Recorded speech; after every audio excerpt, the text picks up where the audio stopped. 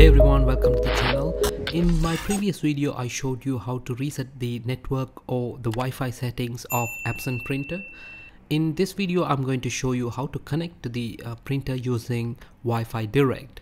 So now the printer is not connected with any of the devices. Let's switch it on to get started. So once it's on, you will see that the network lights will light up alternately. So just wait until it fully stops. It's actually looking for connectivity between Wi-Fi Direct and the router. As we have not configured any of those two, it's going to stop.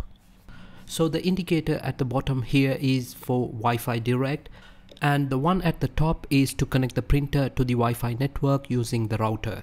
In this video, I'm going to show you only how to connect using Wi-Fi Direct. If you're interested, you can also see my video on connecting this printer to the Wi-Fi network.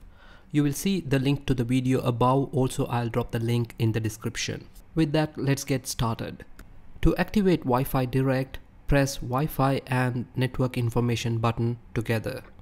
As you press, you will see Wi-Fi Direct and the network lights light up alternately again.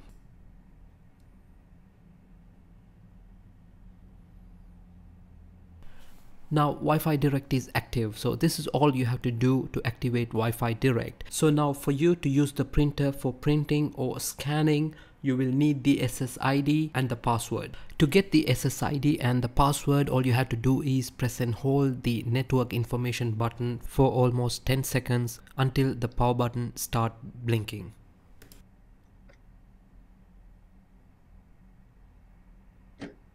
This will print a network status sheet that will include the SSID and the password.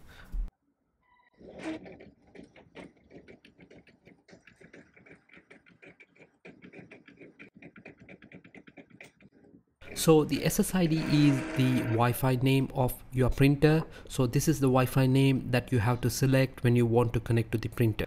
And right below that you have the password.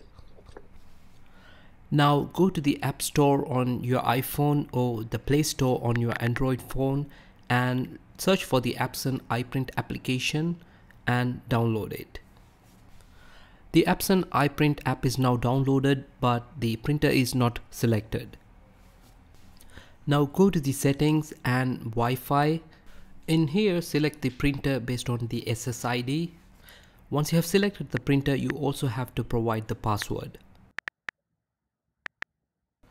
So now the printer is connected for Wi-Fi direct printing. Now go back to the Epson iPrint application.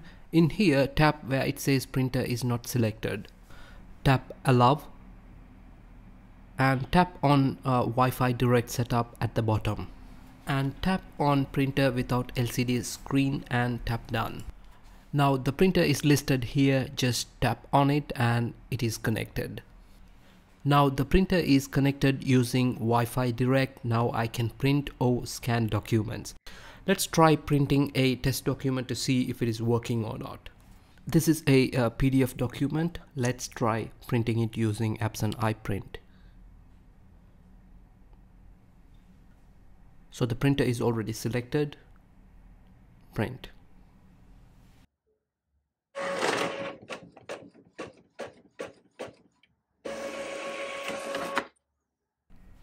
So that's how you connect to the printer using Wi-Fi Direct. In this video, I have shown you how to connect to the printer via Wi-Fi Direct from your mobile phone.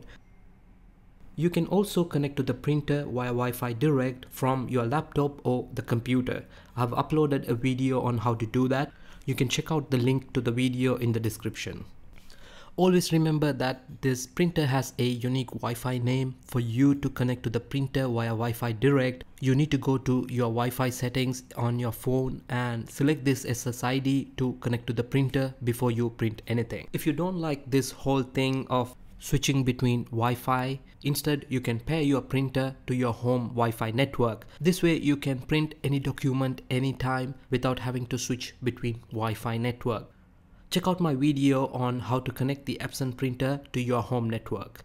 So that's it guys, thank you for watching this video. If you have any question, please drop a comment below. If you like the video, give it a thumbs up and please subscribe to my channel and I'll catch you in the next video.